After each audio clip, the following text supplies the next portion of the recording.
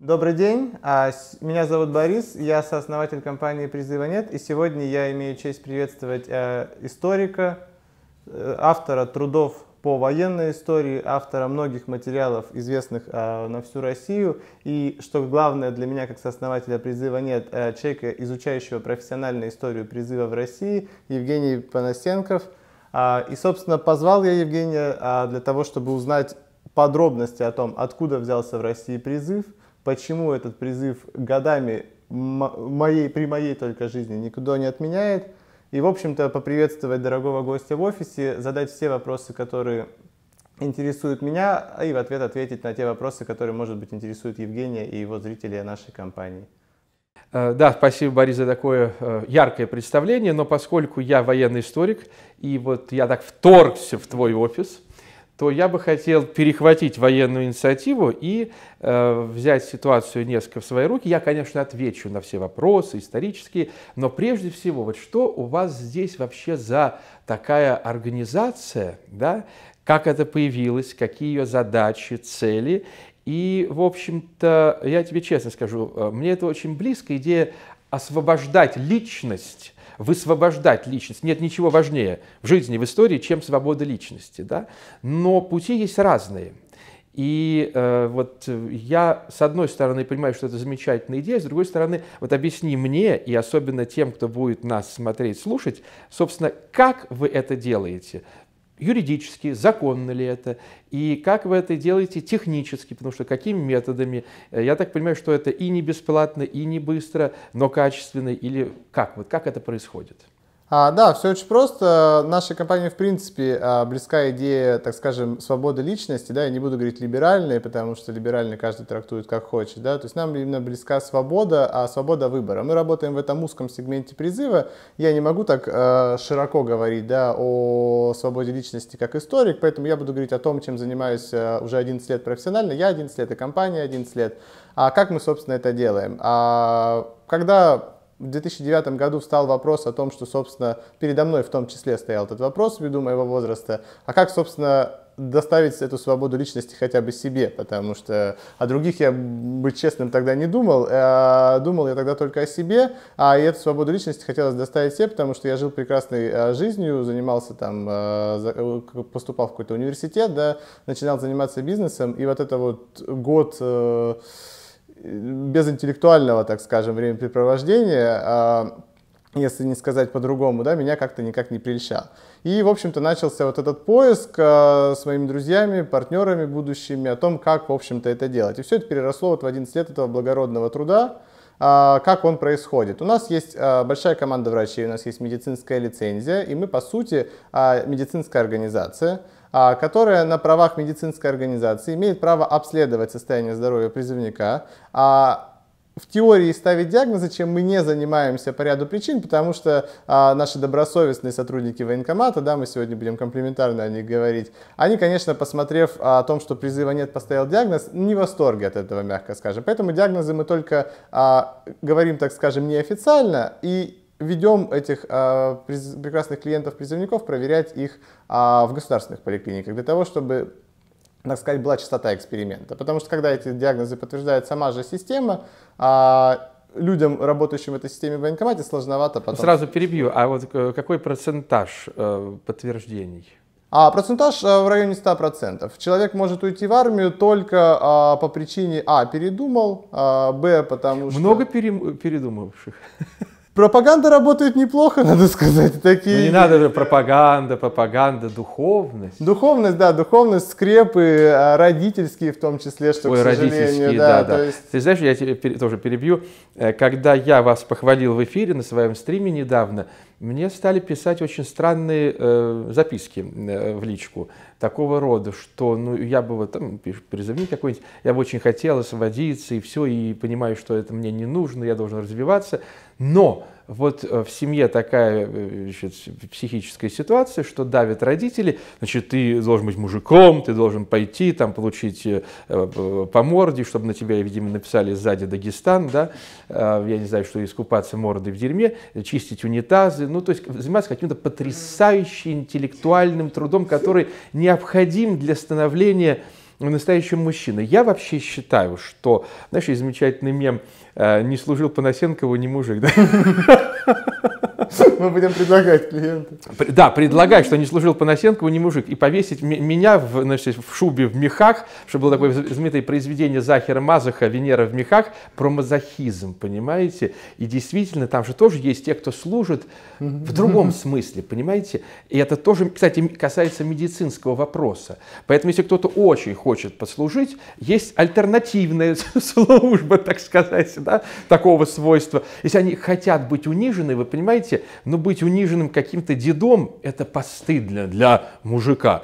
А если тебя унизит известный человек, талантливый и, в общем, с именем, я считаю, что это даже как-то ну, ну, благородно, и можно такой даже выдавать, э, там же в дембелю что-то, мы можем тоже выдавать какую-то специальную такую, знаешь, э, с виньеточкой и подпись, что да, действительно был служил. Факт запротоколирован. Да, и тоже предоставлять, то что вот действительно есть такое понятие альтернативная служба. И опять-таки тема Родины, любви.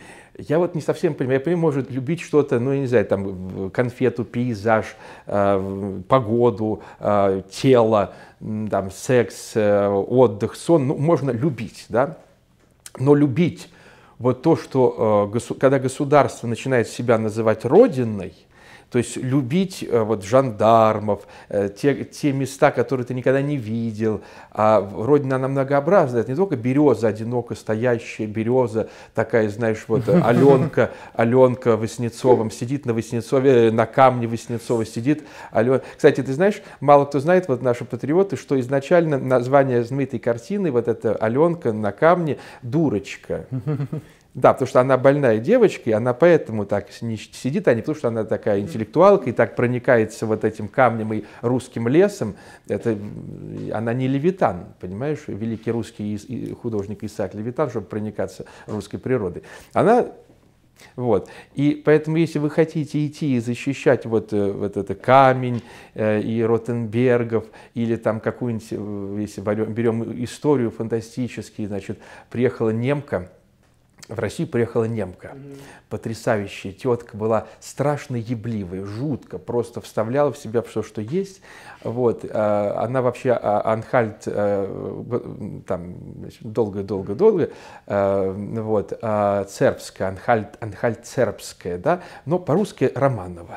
Ну, Екатерина, Екатерина, Екатерина, она потрясающая, она как приняла православие, прибила мужа, вот, ну, вот как бы прониклась этой ситуацией, потом вставляла в себя фаворитов, между делом она посылала завоевывать те территории, из-за которых потом Россия должна была их что? Удержать, кормить, за них воевать. То есть новые войны, когда она уже померла. И вот за нее, за эту немку потрясающе нужно было обязательно крепостным, но тогда уже, когда берут в рекруты, они не крепостные, помирать. Это, во-первых, это потрясающая доля. Ты сдох за немку, она в себя вставляет там какого-то фаворита, а ты где-то в грязном окопе э, подыхаешь. Изумительное э, ощущение. Потом э, тоже вот Николай Первый, то, изумительный был Николай Палкин. Мало кто знает, что вот русские люди дохли в 12 году, а а потом дочка Николая I вышла замуж за сына Евгения Богарне, который командовал корпусом Великой Армии в войне в 12 году, пасынок Наполеона, сын Жозефины, и вот его сын Максимилиан Богарне, ну, правильное произношение Буарне, Эжен Буарне, ну, в нашей традиции Евгений Бугарне, и вот его сын стал а, мужем э, дочки э, Николая I. Более того, э, получил колоссальный статус в России, дворцы, имения и в Академию художеств, и, ну, ну все, что такое можно, получил боевой красавец с осиной Италии и все. А крепостные крестьяне так и оставались рабами. То есть вот э, Романовы породнились с Бонапартами, а крепостные, которые дохли. Почему? Потому что Александр I, это же Александр I винов, виновен в конфликте, вот, собственно, то, о чем э, я пишу в своих монографиях, в том числе в «Капитальном труде». Александр I послал русских дохнуть в 805 году, когда произошел в итоге Аустерлиц. А для чего? Это была же не оборона границ, это была попытка интервенции во Франции. Почему? Потому что Александр просто завидовал славе гения, славе э, Наполеона. А, и затем пошел в 806, в 807 году, получил Тильзит. Уже Наполеон подарил область целую России по Тильзитскому миру. Александр снова стал готовиться к войне. Кстати, колоссальные э, расходы на армию, потому что в мирный 808 год моментально в несколько раз увеличили расходы на армию, чтобы опять воевать. Получили войну 12 года, сами сожгли Москву. Э, Ростовчин, э, московский генерал-губернатор, вот здесь, кстати, недалеко, недалеко от твоего э, офиса, его дом, он приказал сжечь Москву. У нас по минутам известно, кто как сжигал. Это редкий случай в истории, когда мы имеем такие документы. И э, вот за что умирать? У меня всегда был этот вопрос. И когда сейчас пишут, ребятки, в семье такое, что надо быть мужиком, служить, то есть, во-первых, непонятно. Но надо выбрать. Действительно, есть варианты. Можно задачи Ротенбергов, можно не задачи. Есть другой совершенно вариант, абсолютно другой. Дачи Сечина, понимаешь? Это совершенно другой вариант. Можно за Анхаль цербскую старуху. Можно за то, чтобы дочка э, православного царя немца по крови Николая I стала женой э, э, сына пасынка Наполеона. Ну, вариантов действительно масса. Но я повторяю, но действительно есть альтернативы, можете служить более так сказать, да.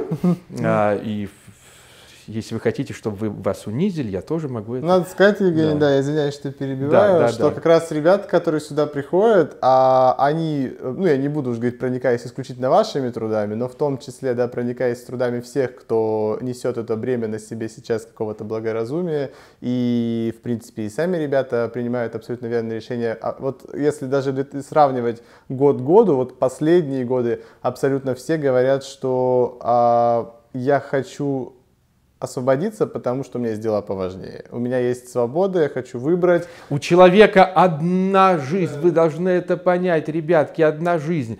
И э, это же, минуточку, вот смотрите, кто кому что обязан.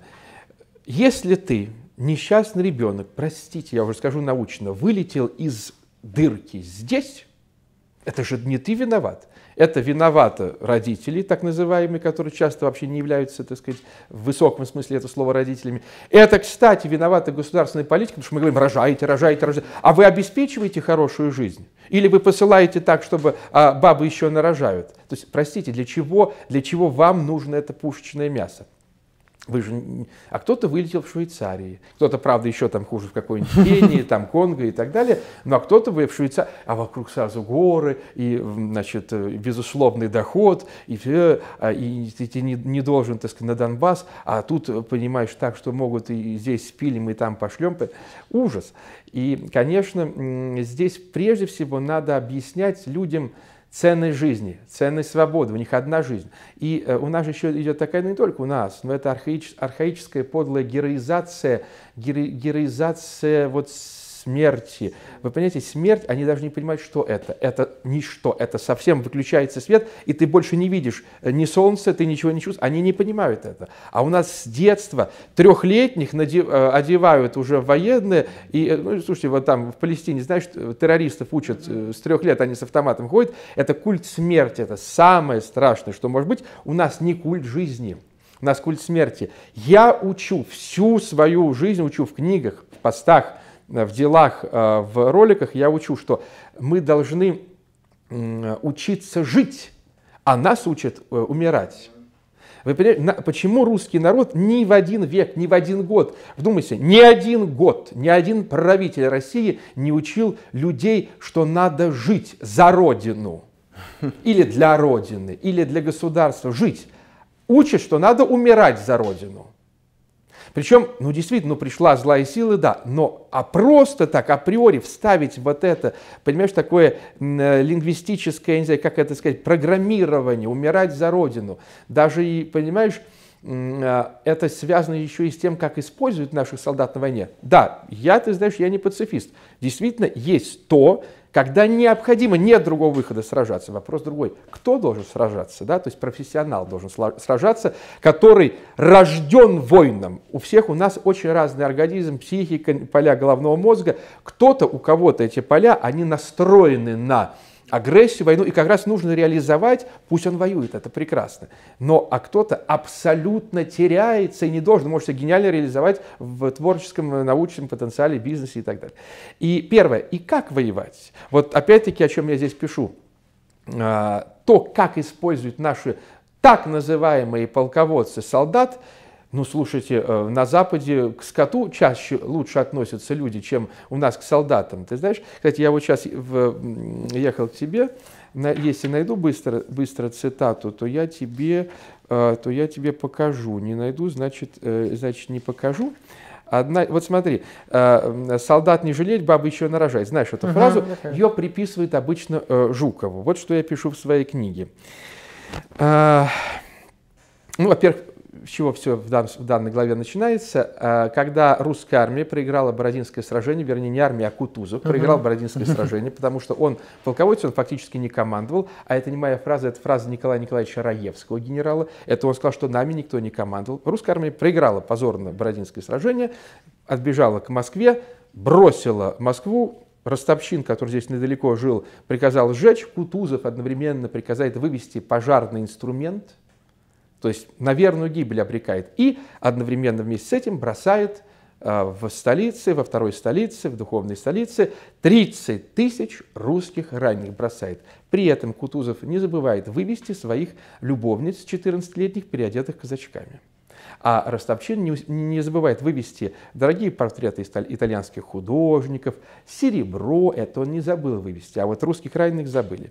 И француз, вот я пишу, французы были в ужасе от зверств русского правительства. Двоеточие, цитата. Эти варвары не пощадили даже собственных раненых – 25 тысяч русских раненых, привезенных сюда из Можайска, стали жертвами этой жестокости. Ну, по русским документам даже 30 тысяч. Другая цитата. 30 тысяч раненых и больных русских сгорело, э, констатировал Наполеон в бюллетене от 17 сентября. Ну, э, не все сгорели, некоторых спасли. А кто спас? Те, кто вошли. Французы, гвардейцы ценой собственной жизни спасали русских раненых. Более того, здесь тоже недалеко воспитательный дом. Рус, э, французы спасли детей, Брошенных, э, сирот бросили просто, никого не вывезли. Кутузов вывозил любовниц.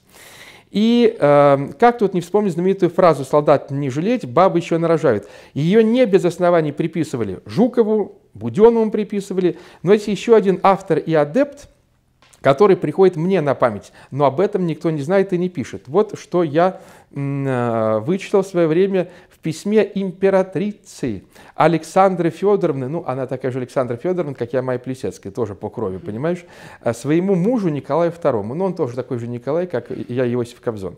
Так вот, 4 э, августа 1916 года, то есть это не Жуков, 4 э, августа 1916 года по старому стилю она пишет православному царю, мужу, Генералы знают, что у нас еще много солдат в России, и поэтому не щадят жизней. У нас еще много солдат в России, вот в нашей, которой мы владеем. Да?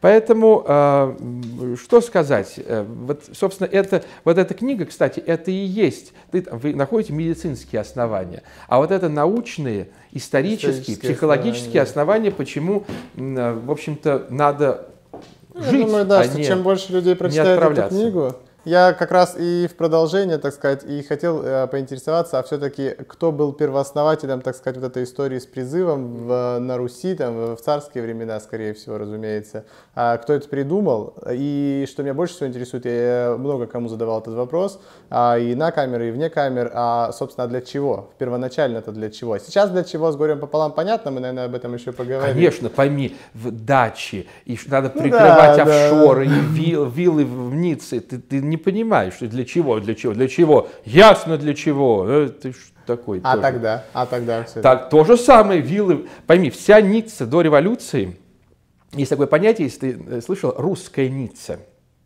Русская Ницца. Что значит русская Ницца? Э, к 17 году, вот э, за, может быть, 20 лет перед 17 годом, это Belle Époque, прекрасная эпоха по-французски, русские князья, магнаты, богатые люди отстроили в Ницце фантастически красивые особняки, виллы, купили квартиры, а, возвели, естественно, а, огромный русский храм.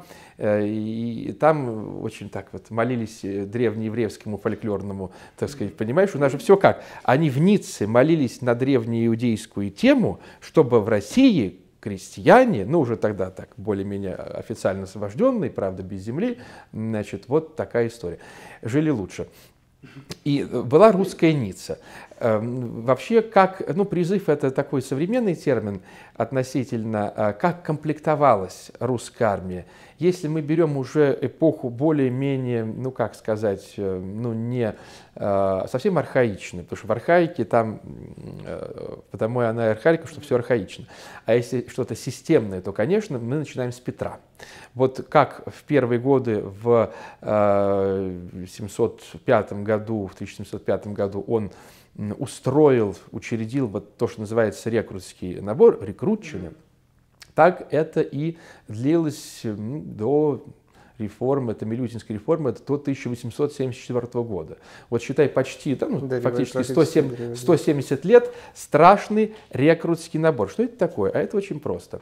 Это э, вот с общины, да, в основном, ну, понятно, что, конечно, служили дворяне до того, как освободила Екатерина, но в основном крестьянская армия. Э, Община обязана была э, выделить, предоставить э, государству вот это пушечное мясо, так сказать, и что было самым э, позорным и страшным? Э, от кого избавлялась община? Это же подлость. Избавлялась э, от больных, то есть поставляли в армию, как любили государство, да, поскольку все, была война всех против всех. Соответственно, ясно, что они себя не чувствовали гражданами, такого понятия гражданин не было. В крепостном праве не может быть понятия гражданин.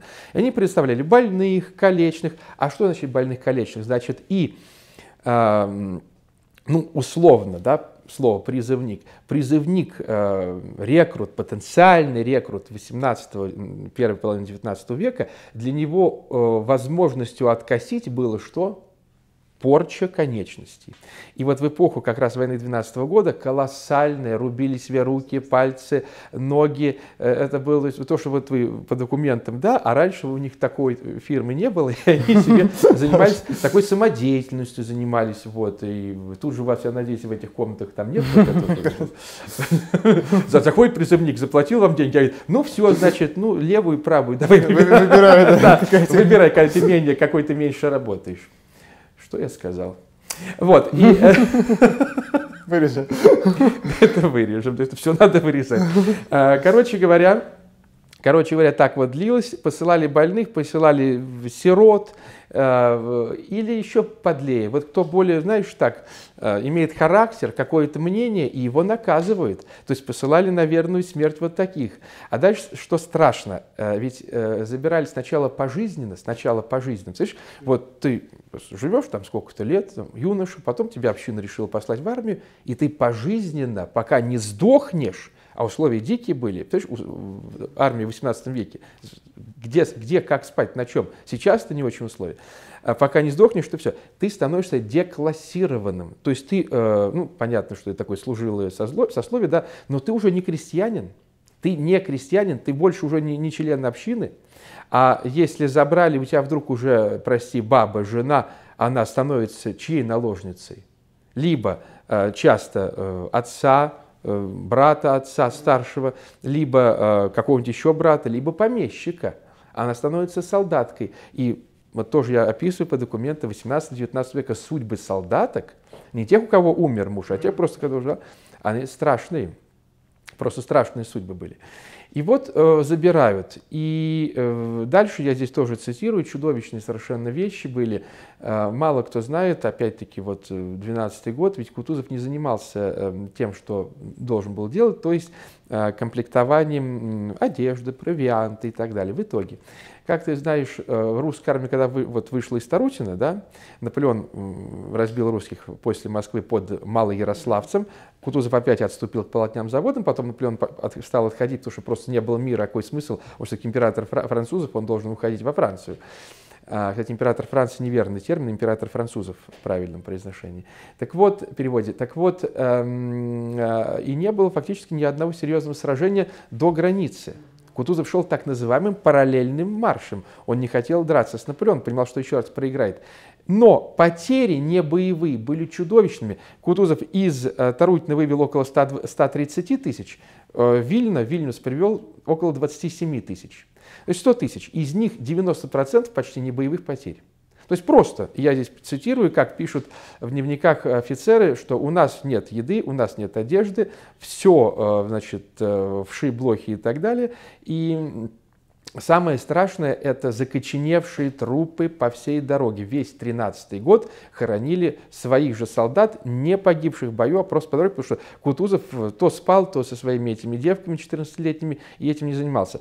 Э, не просто там, э, ну, как ну, как тебе объяснить, не очень приятно умереть, но за что и как, есть со смыслом, что происходило во Второй мировой войне финской, э, это у всех на слуху, все мы понимаем. Там не просто бросали ну, знаете, даже не знаю, как сказать, действительно, как пушечное мясо, бросали, были горы из трупов бессмысленных, да, горы.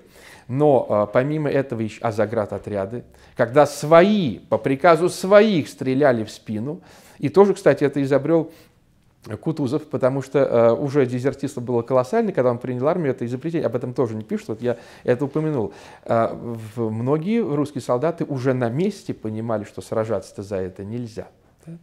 И я повторяю, я не пацифист. Когда надо, тогда надо. Вопрос в том, кто, то есть кто, кто к этому биологически готов и обучен профессионально, первое. И второе, как, то есть э, начальники, командиры, главнокомандующие, цари, полководцы и Э, генсеки, президенты должны ценить человеческую жизнь. У нас никогда не ценили, просто никогда. Да, история, она и создана для того, чтобы а, не повторять ошибок, да, так Совершенно скажем. верно. И вот... А у нас история не наука. Я пытаюсь сделать историю наукой, математической, а у нас это не просто там, специальное мифотворчество, пропаганда, это да, но еще, знаешь, такой описательный момент, описательный, просто вот дата, вот. А что за этим стоит? Причина и вывод Дальше, что мы меняем, делаем или не меняем. Самое же важное, важное почему, э, почему, что мне так что-то не нравится, вот я это пишу. Угу. Нет, я для чего-то, для того, чтобы это исправить. И повторяли. У нас что такое патриотизм? Это э, квасной казенный патриотизм. Это что-то очень плохое. И мы говорим, вот это плохое, это замечательно. потому что это наше. А я считаю, что патриотизм, когда ты видишь плохое и исправляешь, чтобы было лучше, тогда ты искренне, ну как ты любишь человека, если ты видишь, что ну что-то надо поправить, да, ты же хочешь изменить, или ты его ненавидишь и так далее. Так и здесь. Но вот я продолжаю к тебе вопросы. Все-таки, э, понимаешь, вот у тебя фирма, да, Понятно, все это происходит за деньги. Я вообще сам за капитализм абсолютно точно. Но ведь, наверное, или я не прав, э, адекватно у вас, неадекватно по цене, это же и невозможно сделать бесплатно, потому что нужны реальные юристы, нужны э, звонки, нужны документы, походы, контроль и так далее. Вот как это? Потому что тоже, знаешь, ну, э, бывает, ну, такое, знаешь, вот так вот, просто тянуть деньги из людей, да, даже с каким-то хорошим результатом. Вот как это обстоит технически? А, да технически все так. В продолжение вот что очень важный момент, наверное, я буду переноситься, так сказать, из истории в реальность. А реальность в том, что за период нашей деятельности, вот за эти 11 лет, а как раз-таки наша власть умудрилась засекретить данные о тех самых небоевых потерях. То есть мы на истории не просто не учимся, а мы ее пытаемся еще и затереть. То есть когда-то... Да неужели? Я, когда-то, я, вот, я да, когда, когда-то, наше, когда-то наше время станет это. тоже историческим моментом, да, и вот этот исторический момент в книгах каких-то уже других авторов запомнится тем, что а, просто я вот боюсь ошибиться с годом, и ошибусь с годом, поэтому не буду говорить. А, это было вот за последние 10 лет. А в какой-то момент, а, когда каждый год пропорционально в два раза росло количество небоевых потерь, это, конечно, уже измерялось не десятками тысяч, как раньше, а тысячами, что, кстати, для трех-то веков не очень-то и большой прогресс. А это в какой-то момент вдруг стало секретными данными. Это как-то, по-моему, это совпало с 2014 годом, но я не буду сейчас а точно... Я не знаю, что произошло в 2014 году. Мне кажется, что Россия в этом году не вела никаких войн. Да, разумеется, разумеется разумеется, вот, это понятно. Да. Вот, вот, ну, благо... Мы вообще самая мирная держава. Да, благо, наверное, засекретили, потому что меньше стало, меньше, и решили такие мелкие... Именно поэтому. Да, мелкие цифры, так. и, в общем, ну и зачем их, собственно, публиковать. Да, вот, да, что касается нашей деятельности, а, Благо, а, мы занимаемся призывниками, а не тем, туда ездит на несуществующие войны или не ездит на войны. А, вот, а, как это происходит, почему нельзя сделать бесплатно? А, потому что для того, чтобы человеку а, дать возможность быть в безопасности от этой системы а, призыва, да, ему нужен юрист, ему нужен личный врач, да, то есть я сказал, что у нас есть медицинская лицензия, возможность найти заболевание, с которым а, каждый не пойдет служить, а, этого мало. Мы больше того, вот в каждой из этих кабинок там не конечности отрезают, да, а там консультируют, да, да все-таки нет. вот, там отрезают... Я вообще большой специалист по исследованию тех, кто отрезает конец. Да, да, там, там э, изучают, а, собственно, данные о том, что у человека сейчас есть, что за ситуация. И ему зачастую говорят, слушай, есть у тебя основания не служить. И а, с миром отпускают, говорят, не надо платить никакие деньги. Ты приходи к нам на бесплатную консультацию, мы тебе все расскажем. А почему мы это делаем? Мы не перестаем быть бизнесом, мы не перестаем быть коммерческой организацией в это время. Потому что мы знаем, что здесь, в Москве или в любом другом там из 45 городов, где он придет, он а, следом, если это особенно призывное время, приходит в военкомат, показывает те же самые документы. А, в лучшем случае ему просто а, делают вот так и говорят, ничего тут нету, ну ерунда же. А, ерунда, ну, слушай, ну плоскостопие иди пересними, иди пересними в государственную поликлинику. Оп, а, государственная поликлиника, никого не обвиняю, ничего плохого не хочу сказать, вдруг второе. Что случилось, как быть, никто не знает. То же самое с любым заболеванием. Тысяча заболеваний, да, условно говоря, тысяча вдруг видоизменяется. То есть вообще у нас больное население, да? Население, да не то чтобы население, знаете ли, больное, скорее, а, как сказать, в армию должны идти все-таки не только по а, врожденным признакам здоровые люди, а, ну и физически должны идти лучше. Она, Конечно, она должна быть немногочисленная, да. но она должна да, быть действительно качественная. И таких да. космонавтов а, в кавычках да, можно найти, разумеется. А у нас пытаются взять а, количеством не только на этапе а когда ты вот уже идешь, да, что нужно 135 тысяч, и ни одним больше, ни одним меньше, неважно, и нарожали ли те самые бабы, да, 135 тысяч здоровых или не нарожали, ведь на это тоже никто не смотрит. Вот даже коронавирус был, а, карантин, а, чистые пруды, народу никого, а, нельзя выходить на улицу, а, нельзя работать никому, ни ресторанам, ни кафе, ни парикмахерским, ни в том числе нам, да, как простым смертным. А, но 1 апреля призыв мы не отменяем, мы даже делали петицию, мы не, да, мы не верим в эти петиции, но тем не менее, призыв мы не отменяем, а спустя несколько дней, ладно, окей, подождем несколько дней, а, подождали в итоге до 12 мая, если не ошибаюсь, 12 мая с двойным собственно, потугом начали все это делать, потому что, ну, в общем-то, ну, да. план-то никуда не поменялся. Ну, конечно, мы, мы ждали конечно, хотя бы скорректируют, но нет. И вот, собственно, вот эти деньги а в Москве, там, в Питере это 79 тысяч рублей, в регионах это 49, они платятся за а, то, чтобы с этой болезнью, которую мы у тебя найдем, или даже если она у тебя есть, а когда тебе в военкомате покажут а, что болезнь-то не такая, как тебе кажется, или, в общем, все вообще не так прозрачно, как ты думаешь. И да, еще говорят, э, все не так просто. Да, все не, да, все, да, да, действительно, все не так просто, и особенно очень частая фраза, а говорят, вот там расписание болезни, к сожалению, сейчас нет под рукой, это такая достаточно толстая книжка с половину вот этой книги, да? Ну, с половину. Вот, да, то есть она, а, и там все эти болезни, да, перечислены. А, и вот там, значит, открывает э, врач и начинает медицинскими терминами швырять в этого несчастного призывника, где, да. в общем-то... А... Кстати, обрати внимание, вот я всегда говорю, что война-то начинается здесь. Какое НАТО? А я думаю, что здесь гораздо больше э, агрессии, как мне кажется, эмоциональной, личностной. Да? А война, э, вот мы как, как думаем, что вот какие-то униформы, полководцы, пушки. Нет, война — это то, что происходит часто в семье, на улице, между сословиями, классами, обществом, между возрастами. Война — это понятие э, всепроникающее. И вот то, что ты описываешь, это, в общем-то, война внутри войны и друг против друга. Вот что, с чем нужно бороться на первом месте, чтобы устранить причины которые э, дают Да, если войну. покопаться в этом да. глубже, то это получается просто не любовь же к своим, по большому конечно, счету. Потому конечно, что эти да. врачи... Где же, где же этот патриотизм, если э, врач чувствует, что вот надо, значит, а, обойти как-то этого призывника, призывник чувствует, что надо обойти врача, да, да, комиссия это... Ну, это чудо... Я считаю, что это чудовищно. Кстати, учти, что вот ваша фирма а, обанкротится, э, когда, если я приду к власти. Потому что я, естественно, я моментально а, отменю вот такой призыв, у меня будет только контрактная профессиональная армия, и вот такие, как ты, понимаешь, сразу, ну, что-то придумаешь другой, там, мне служить.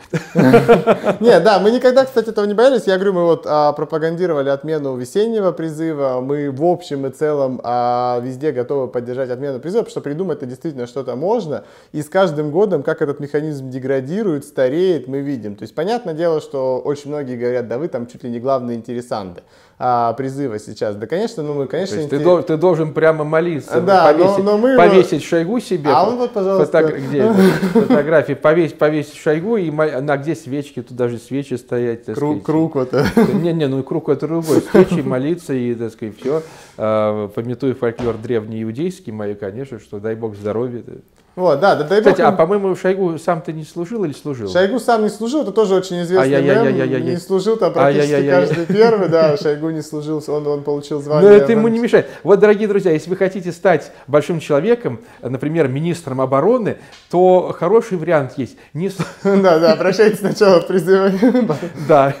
Вот, нет, на самом деле это то- в том числе и правда, потому что очень многие а, этот год э, тратят на гораздо более полезные вещи, очень многие. Нам иногда претензии кидают, вот вы освобождаете, а люди там за компьютером этот год сидят. Да, мое мнение, что лучше пусть он сам выберет за компьютером просидеть, это его личное Во-первых, дело. смотри, э, это, во-первых, никого не должно касаться, Да, да. как человек распоряжается своей жизнью. жизнью. И только подонок, ублюдок и дегенерат смеет кому-то э, навязывать или вообще комментировать, как человек распоряжается своей единственной жизнью. Это первое.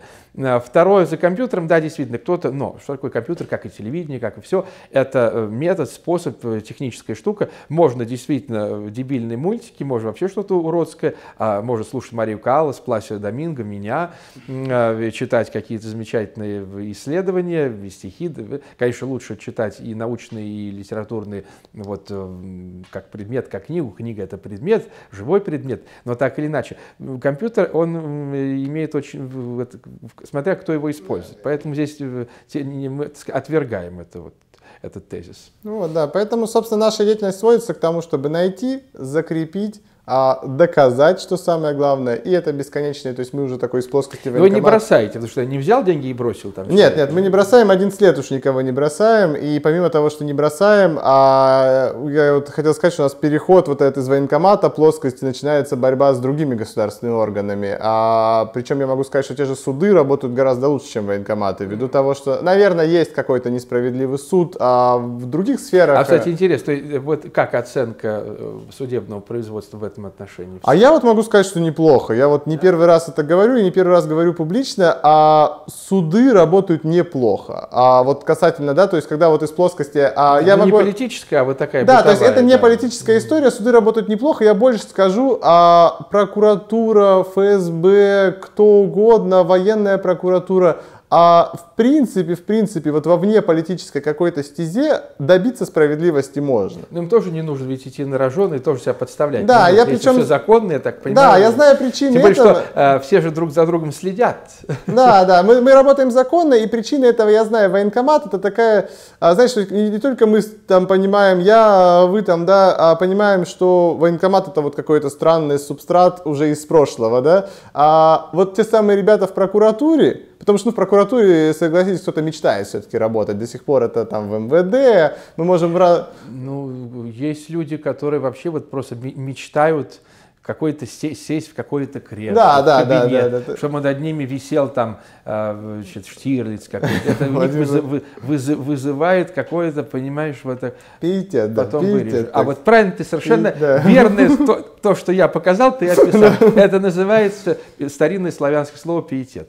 Вот, да, э, но они же более современные, они, наверное, и богаче. Но они все равно, они, они- то есть э, пр- просто уважение какое-то, пусть определенных слоев общества к вот этим органам есть, и к ФСБ, и к прокуратуре. И Ну, когда люди ФСБ, конечно, попробует. и не- Да, да, вот. И, конечно, когда люди туда идут, они очень быстро понимают масштаб личности и масш... То есть, если, грубо говоря, сотрудник прокуратуры в Москве, это чаще всего выпускник а, в той или иной мере престижного вуза, юрфака, а, это в той или Не иной знаю, мере- вот ты говоришь, я не могу подтвердить, И, не ну да, это не такое, знаю, так скажем, да, это, это очень усредненное, понятное дело, То вещь. есть для меня все равно это немножко нонсенс вот работать в этих, э, такой быть э, Ну, функции, да, да. для меня. Но, но, наверное, в сравнении, конечно, с теми, кто вот действительно детей вот сидят в военкомате и приходит ребенок, а ты его пытаешься, Да, вот, ну, конечно, для меня это психологически какая-то дичь. Да, все познается в сравнении, то есть эти люди все равно, они а, отдают себе отчет в том, что они делают. И когда они видят тех, кто работает в военкомате, какие вещи они допускают, во-первых, это средний возраст, это всегда люди из Советского Союза, то есть там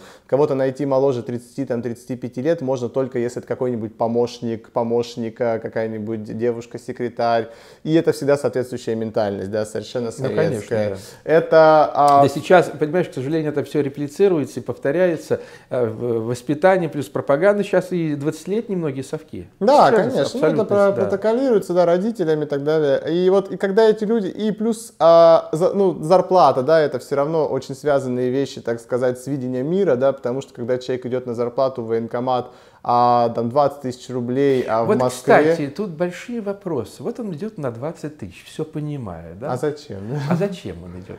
А вот есть, есть два пути, мы не будем сейчас говорить Не будем, сильно... не да, будем, не будем сильно... Мы не будем в эфире. Да, сильно мы об Не этом говорим. Да, мы скажем Да, о другом. мы не будем об этом. Мы скажем, мы скажем немножко о другом. А по известным, так сказать, мне фактам, Кстати, о погоде. Чудовищная погода. Чудовищная погода, да. Очень вот, берут... а, Берут. Не, не, не, Не, мы- что мы берут. щас не- Не ты на- не- берут. не о Я том, же, что мы не будем об этом А я говорить. совершенно о другом. О, дру- о чем? А я совершенно о другом. Да. А премия, официальная премия А, официальная, а, военкома, да. военкома и многих людей рядом зависит от выполнения плана призыва. Ага. И когда мы говорим о 135 тысячах в стране, окей, я могу быть неправ, я могу быть неправ. Возможно, 135 тысяч это такая минимальная граница реально здоровых ребят. Возможно, я ошибаюсь, возможно, их можно набрать в теории. Не Да, я такого. этих здоровых... э, Да, да, да, возможно. Но когда мы говорим о... Вот у меня а, партнер мой по бизнесу, а, Очень, соучредитель... очень важно сейчас доп- дополнять, что именно по, По бизнесу, да. Вот, а, значит, а, он, а, ну, партнер бесполое, так сказать, понятие все же.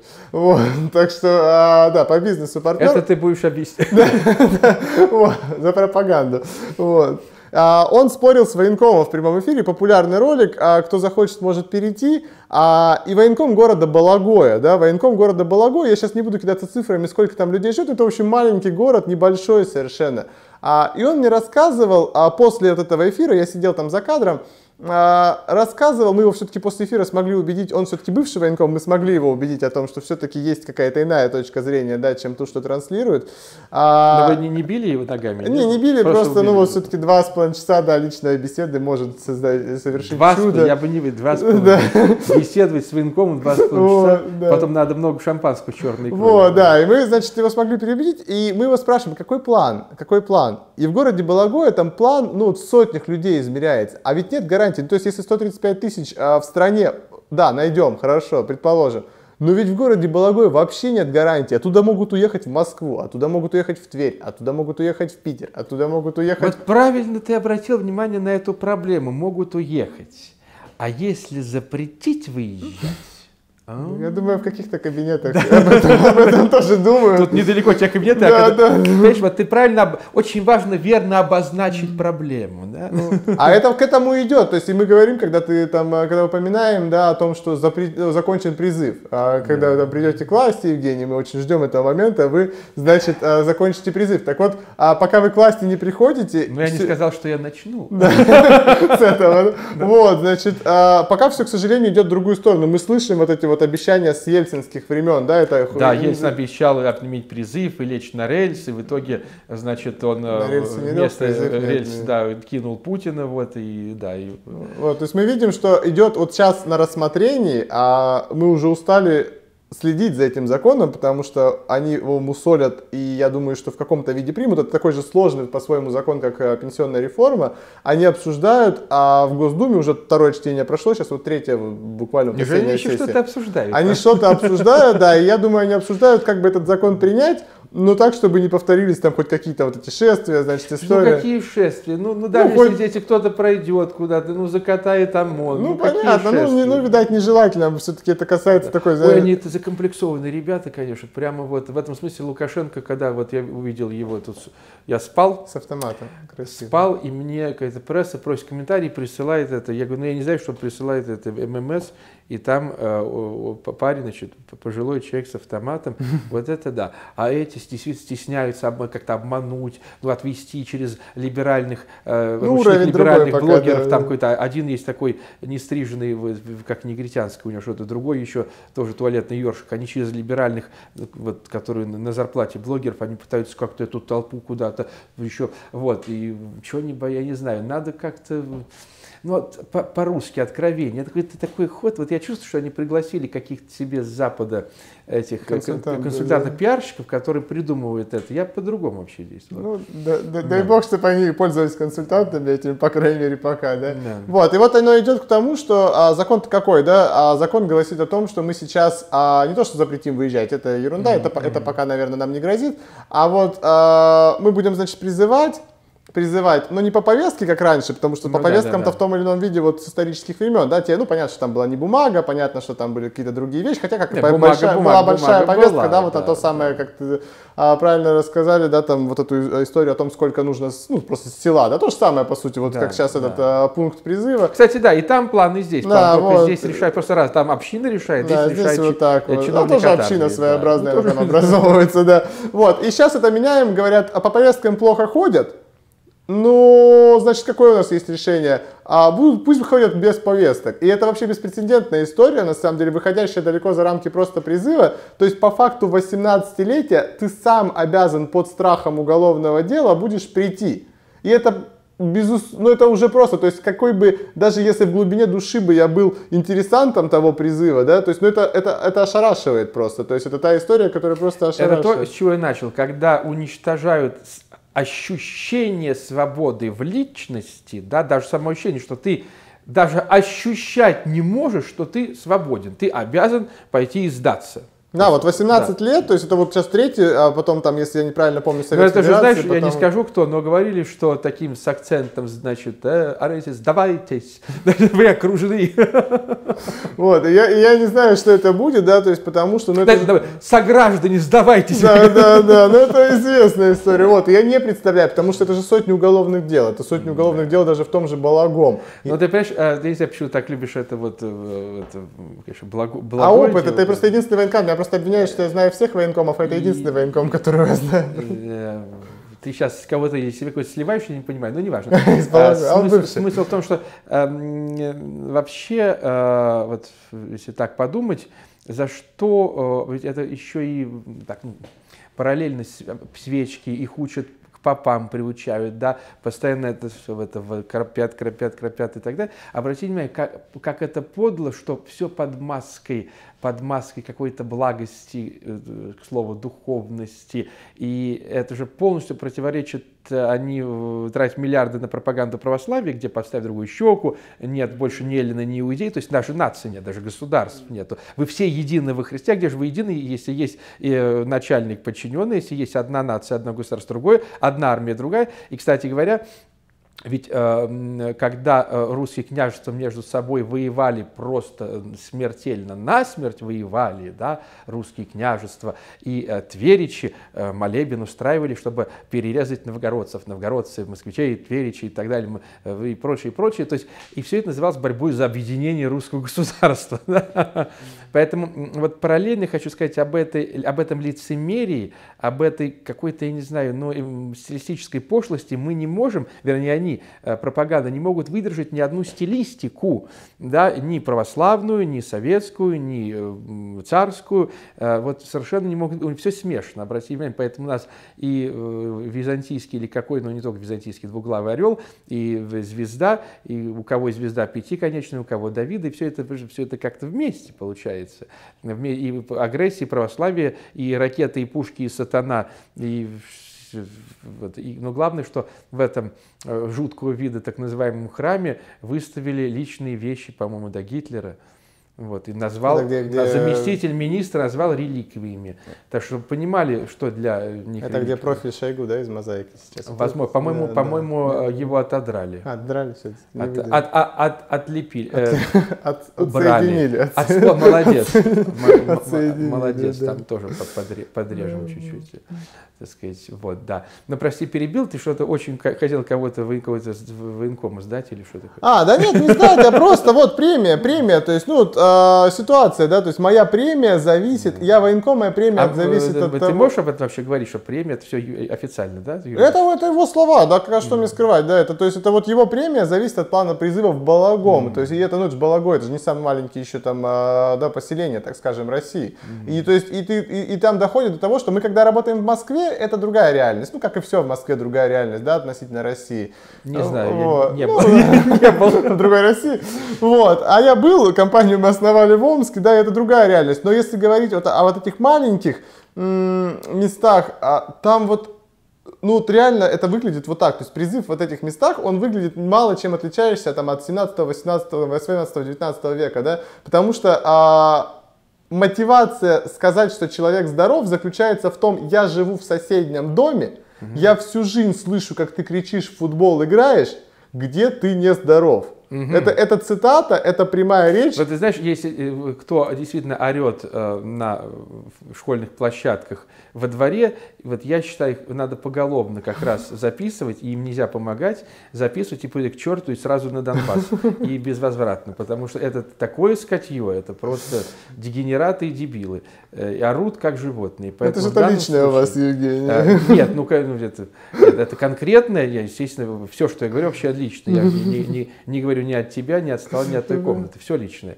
Вот, но это просто медицинский факт, если ноль интеллекта, если оно может а, орать как дебил и пинать э, годами этот мячик э, и шуметь, то, ну, значит, ему, ему значит, голова-то и не нужна. Нет, так речь там о, де, о детстве идет, то есть он там пинал этот мячик до 8 лет. Это, до 8? Ну, там до 10, до 8 ну, лет. Да, я думаю, что вообще позволительно пинать мячик. Все знаю, подумай. Ну, я уверен, что вы занимались историей Первой мировой войны, разумеется, 8 лет. А, кстати, это... Первый нет, 8, ну, 8, 8 нет. Вряд ли. Нет, нет, совершенно не, вообще неинтересная тема.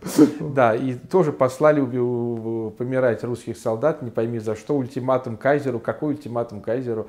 Внутри семьи, кстати, потому что они все были родственники. А, Кайзер был тоже тут шефом одного из полков. И а, просто опять в расход пустили, угробили империю, угробили государство. Тоже... А, кстати, эксклюзивный вопрос. Как да. у вас, Евгений, вопрос с армией решался в свое время? Э, я даже не помню, ну, что-то нашли такое, что-то я что не стоит. очень, очень слаб здоровьем. Ну, ну, Беско, бесконечно слава. слаб здоровьем. Не знаю, как эм, для чего, но для этого я бесконечно слаб здоровьем. Да. Но Значит, для того, чтобы вот правду сообщать, у меня здоровья достаточно. Ну, да. Да. Слава. Вот даже сегодня я двое суток уже не сплю, потому что были там интервью американцам, надо было потом лишний раз не ложиться, потом еще писал статью, двое суток не сплю, но видишь, как нахожу здоровье для того, чтобы здесь просвещать и указывать значит, как, как Ленин, да, указывать путь Верный к свободе, путь, да, к свободе да. личности. Но, кстати, по поводу пути к свободе личности, э, вот все-таки скажи, а, э, я не знаю, вот, может быть, были какие-то обиды или наезды, или, может, даже со стороны э, тех, кто обращался, кто не обращался, не родители, органы, вот что-то такое? Ох, да ну, то есть э, наш основной посыл, да, мы освобождаем от армии на законных основаниях. То есть сам по себе посыл, конечно, бесит всех. То есть я когда комплиментарно говорю обо всех этих органах, это комплиментарно, Еще когда больше мы, бесит, да? да, когда мы уже разобрались. То есть вот мы познакомились, сюда пришли, там, а так каждонедельный. То есть у нас э, юридический департамент, который занимается не клиентами, а ну, вот делами ну, компании, понятно, да, защитой да. компании. Это э, такой хороший, полноценный департамент, который занят каждый день. Вот то, о чем я говорю, можете сказать, на что идут силы внутри, ребята, на что идут силы внутри государства, когда друг от друга внутри, какой матерное слово НАТО, ну какое, какое НАТО, да? Да, Сколько то есть мы боремся, да. вот, то есть, и мы при том, а мы платим все налоги, потому что мы же всегда, разумеется, боялись, ты там занимаешься Это освобождением от призыва, да. и ты, конечно, должен быть чище, там, чем любой продуктовый магазин, чем Святей любой бизнес. Папы Римского, да, да, да, и мы всегда, но при этом всегда приходят с одними и теми же запросами. Да, потом разбираются, все хорошо, мы прошли все проверки, но в целом это каждонедельное, причем чем больше филиалов, отовсюду. И самое смешное, когда там, где нас нет, и там, где у нас ни одного клиента нет, какое-нибудь село а, там, в, э, там, в республике Чечня, да, в республике Дагестан, там, да, какое-нибудь село. И у нас там юрист, он должен там брать, значит, этих лошадей а, после аэропорта там Грозного или аэропорта там еще какого-нибудь, да, Махачкалы, а, он должен брать там этих лошадей, повозку, потому что там ничего нет, и ехать в это село, потому что там вот стоит маленький суд, и там местный местечковый прокурор, а, они так и пишут, в процессе поиска информации в интернете наткнулся на сайт, разлагающий а, там э, основы, значит, обороноспособности, противоречащие Конституции Удивительно, что Федерации. они такие термины, это еще советские. Да, да, ну, это уже моя, может быть, интерпретация. Подогревающие, да, да, да. может быть, даже попроще. И вот это всех, конечно, очень бесит. Это и Роскомнадзор, это и прокуратура, и Следственный комитет, это и обычные там участковые полиция. Они же все на зарплате, понимаешь, да, это, это всегда и чем они занимаются. Да, сначала мы занимались там как основатели это сами, вот это вот у меня бесконечные были, я там э, сидел, э, начиная от АБЭП какого-нибудь там. Э, ну, а какие-нибудь тараканы, вот пищевое что-то там, это санинспекция. Ну, благо, да, мы, мы вот э, боимся открывать, у нас тут была идея, что открывать там кафе там какое-то, знаешь, Нет, такое ма- ма- маленькое, ну, не кафе, а маленькое, да. да, да, но у нас бы сразу что-нибудь нашли. Найдут, найдут. Мы сделали один офис. Да, а... придут, придут, придут так, значит, это самое из пробирки. Да, так, да, да, крысы. Таракан, нет, таракан. О, таракан. Да, да. Мы, мы думали, да, сделать просто для того, чтобы клиентам было удобнее, ну, то есть какое-то там э, покушать что-то и так далее, потому что приходят, иногда очереди образуют, стараемся не допускать. Вот. А, ну нет, побоялись, потому что один раз сделали в городе Уфе прекрасном, сделали а, в торговом помещении офис, да. А, и там а так как на офисные помещения там попроще нормы, а мы сделали вот на торговых площадях, да, вот где бутики там и так далее. И мы сделали там офис, и тут же пришла пожарная служба и говорит, ребята, да. с полом что-то не так. Что-то у вас что-то с полом, с полом не, не так. так. Да. Мы говорим, а что с полом не так? Ну, с полом не так, то, что вы призыва нет. Вот примерно такой был Понятно. ответ. Поменяйте-ка пол. Угу. И, а, ну, то есть я не знаю, на что они рассчитывали, что у нас там на 46 филиалов денег на пол не хватит, или что, ну, какая да, был да, расчет. Да, мы поменяли пол, все окей, все славно там, да, и так Стены далее. Стены не те, да. Вот, да, вот объяснили им, что мы пол поменяли, они даже не проверяли, если честно. Действительно ли мы поменяли, была вот цель от работы, да. Поэтому, конечно, это всех бесит. Что касается родителей, ну, тут скорее к нам не доходят те, чьих родителей это действительно угу. бесит. Единственное, что часто а, просят а вы вот мне звоните только на этот номер, а только вот в это время, а вот так, потому да. что упаси то, то, о чем тоже я сказал, вот эта война внутри семьи тоже, потому что действительно есть шизан, шизанутые эти э, самки и самцы, которые... Э, от чего, кстати, это идет? Вот ты знаешь, от чего это идет? Я объясню. Э, от чего такой совок идет, от чего ненависть к детям и, скажем, стань мужиком и прочее? Очень просто. Это лузеры, это неудачники родители, это бедные нищие. Они не могут дать своим детям Оксфорд, Кембридж, просто повезти в Париж, в Венецию, в Майами. Они не могут купить роскошную квартиру, они не могут их водить в хорошие рестораны, покупать билеты на мои лекции даже. Нищие, да, звонят, пишут, можно без билета, что очень нищая семья, да, родители патриоты, нет денег на билет, но вот я такой поклонник, все. Понимаешь, они не могут. Но что они могут? Они могут только сказать, а это и не нужно. Мы вот здесь окопались, вокруг враги, и вот это, значит, то, как я свою жизнь проживаю вот так в нищете, в быдлячестве, это и есть по-мужски и прочее. И ненависть. И они вымещают свою ущербность, свои неудачи жизни на ком? На детях. Потому что они не могут выместить на правительство, их уничтожат. Они не, не могут выместить там на каком-нибудь известном человеке, на мне, я их тоже уничтожу. Вот. А в, а, на работе их унижают, кто-то потерял работу, вообще уже никто. И они вымещают на детях этих. И поэтому эм, Происходит, кстати, среди, я думаю, болезней не меньше такие неврозы, болезни психические и прочее, прочее. От чего? Именно от этой ситуации в семье, когда годы, годы, годы это длится и прочее. И вот я сейчас специально эту тираду дал для ребяток, а, юношей, которые и переживают это в семье. И вы должны, во-первых, понимать, откуда ноги растут, что это такое. Это от лузерства. Он, так и скажи там, а, вот такой, э, э, папаша, мамаша, который ты типа служил, сказать, так, почему ты вот так любишь там совок, почему ты так обожаешь вывозящего, э, значит, эм, эшелоны, 7 вагонов э, смародерил э, Жуков из Германии, Кутузов с девками 14-летними, который сжег Москву вместе с Ростовчиным, да, но Ростовчин сжег, Кутузов помогал, вывозя э, пожарный инструмент, бросил 300 тысяч русских раненых, они обожают, они же не читают, они и читать не умеют, и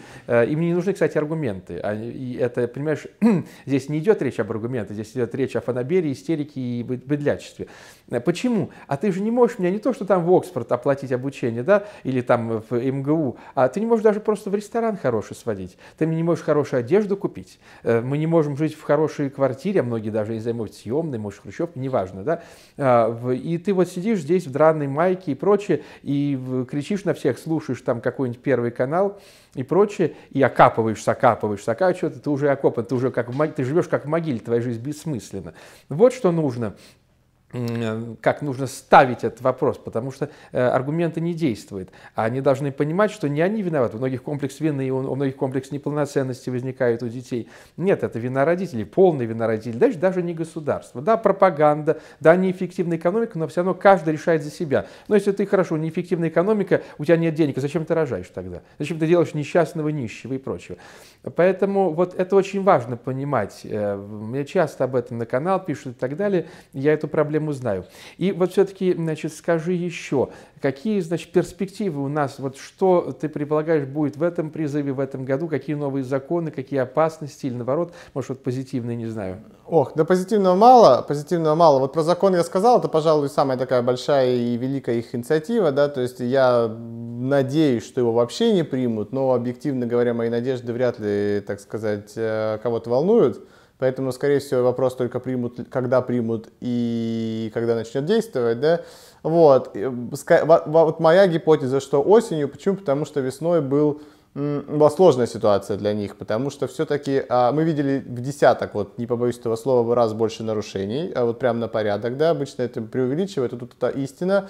А, и почему? Потому что, ну, по сути, из э, там апрель, май, июнь и пол июля, из трех, апрель, май, июнь, да, из трех с половиной месяцев превратилось в еле как э, два, то и полтора, потому что э, там отмелись майские праздники, 12 мая более-менее что-то начали, но не везде, в Москве объективно начали только звонить числа 20-25 мая, и это в итоге там превратилось в июнь-июль. В Питере еще хуже, потому что в Питере мы знаем, да, что долго снимали все эти карантинные меры после Москвы, потому что Москва был такой показательная Потемкинская деревня, где всех исцелили, значит, а в Питере не так исцелили, да, как в Москве, а вот э, в Омске, да, родном для нашей компании, где у нас множество сотрудников работает, там вообще исцелили на два месяца позже, хотя вот омские люди путешествуют в десятки раз меньше, чем москвичи, и как такая магия случилась, мне до сих пор не ясно. Ну, не об этом, да. Вот, и, собственно, эти, эти призывные месяцы, они официально отчитались о выполнении плана, но моя гипотеза, что это исключительно гипотеза и личное мнение, да, не претендую на истину,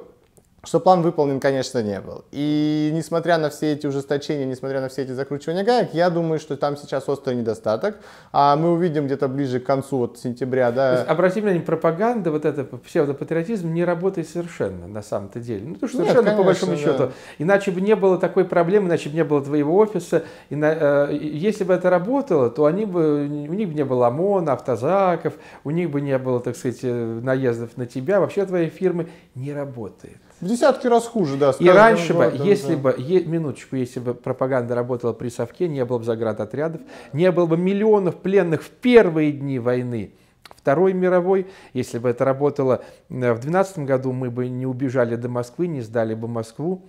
Кстати, ладно, армия проиграла сражение, э, значит, э, Москва капитулировала, но а где крестьяне, где жители? Не, вдумайтесь, вот, ребятки, слушайте, ни один ни один, даже сумасшедший пьяный крестьянин не пошел э, выбивать французов из священной столицы, где э, э, все погребения русских царей. Ни один. Вот. А что они сделали? Что... Ну, они были в Москве, русские крестьяне были в Москве, но за сутки до вступления армии Наполеона. Дело в том, что они пришли, многие подмосковные крестьяне, и разграбили город полностью. Французам грабить уже было нечего и не нужно разграбили полностью. Я здесь публикую э, официальные отчеты, э, впервые, кстати, в монографии войны 12 года, впервые ни один мой коллега из прошлых и настоящих не опубликовал отчеты э, полицмейстеров разных частей Москвы, которые специально докладывали в расслед... по итогам расследования, что вот пришли да, русские, русские крестьяне и, кстати, мародеры-солдаты, и разграбили лавки, магазины, перепились.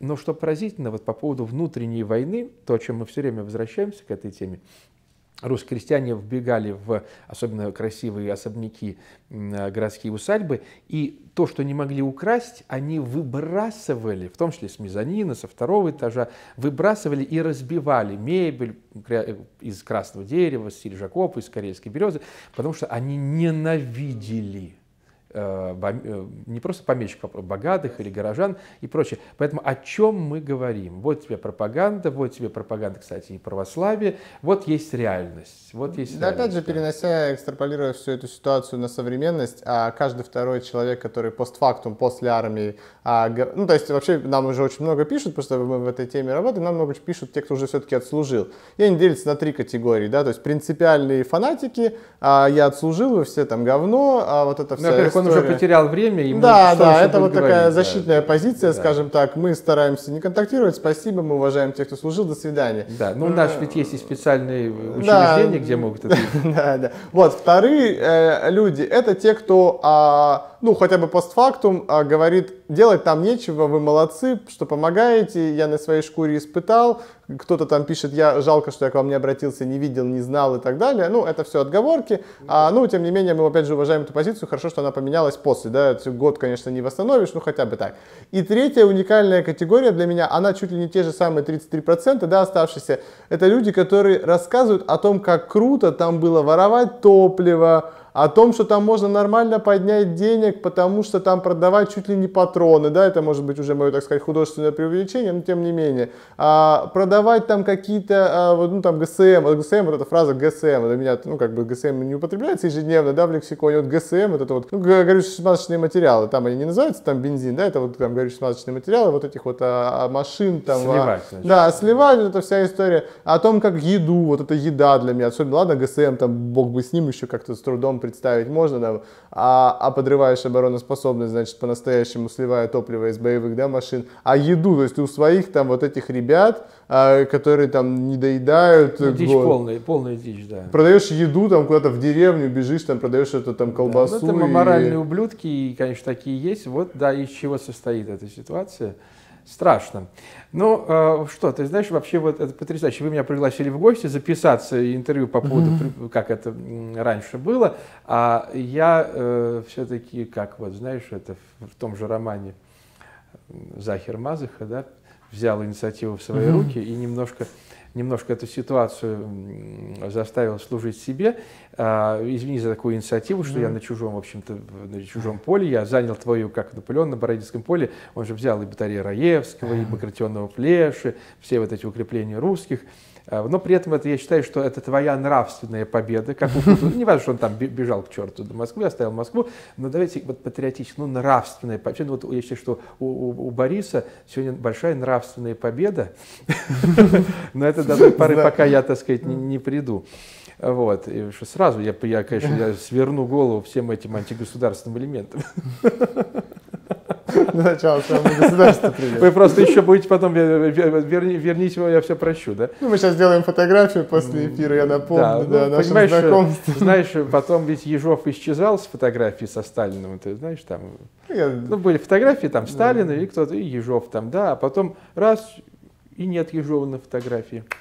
Так бывает. А и часы потом ну что, кто-то из нас должен попрощаться с людьми.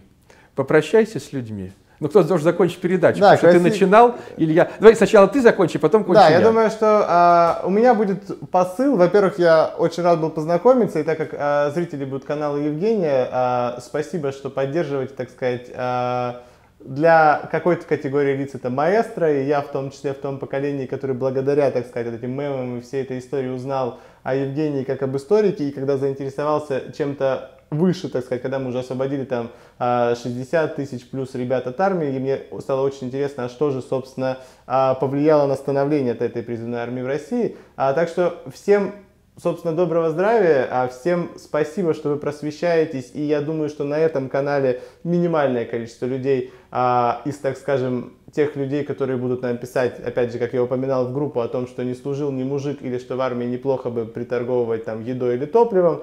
А, и я надеюсь, что многих из вас мы увидим, многим из вас мы сможем помочь.